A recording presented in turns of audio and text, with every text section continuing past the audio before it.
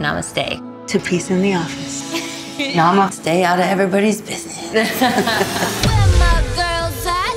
The gloves are probably gonna come off. I will really show who's a top agent and who's not.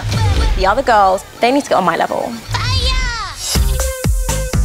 My listing is 22 million. Oh, wow. Stunning. This is the best bathroom I've ever seen. Can I get the number to whoever did this?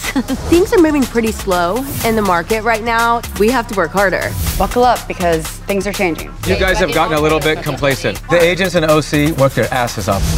I just hope that the OC office doesn't end up subsidizing this new LA office. I'm really trying to figure out this balance of work and social settings. You know how Jason is. He loves somebody, he loves them forever. I just feel like maybe there's feelings left. I'm losing brain cells on this conversation. I'm daydreaming in my bed. I'm a one woman show. I really feel like I deserve way more. I would be pissed if I found out they're still talking shit about me and my family. You mess with my business, you mess with my kids. Chelsea, we're gonna give you a $10 million listing. My god, please, can we take a picture of Bre's face? Oh, oh, wrong finger. We have a $100 million house here. We got a sale, baby.